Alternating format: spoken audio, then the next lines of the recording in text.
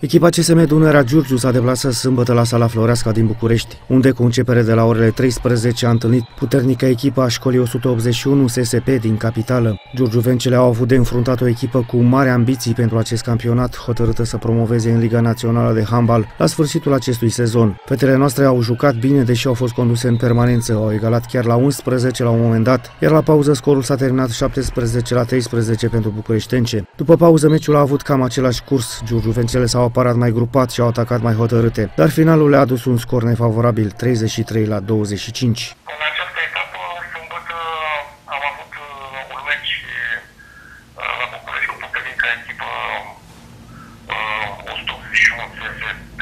Revistă o echipă care este formată din uh, vârfurile generației de 22-19 ani, uh, fete care au fost uh, optate în această echipă. Uh, un meci bun făcut uh, de fetele noastre, o echipă care până acum n-a cunoscut uh, înfrângerea și încearcă al doilea an de zile să intre în Liga Națională.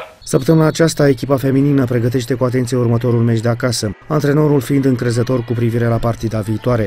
Una peste alta pot să spun că fetele noastre au crescut uh, în relațiile de joc și în înțelegerea uh, jocului echipei, ceea ce ne dă speranțe pentru ca următorul meci pe care îl avem acasă cu HC uh, Olimpic Ploiești să-l uh, câștigăm și să bifăm a doua victorie.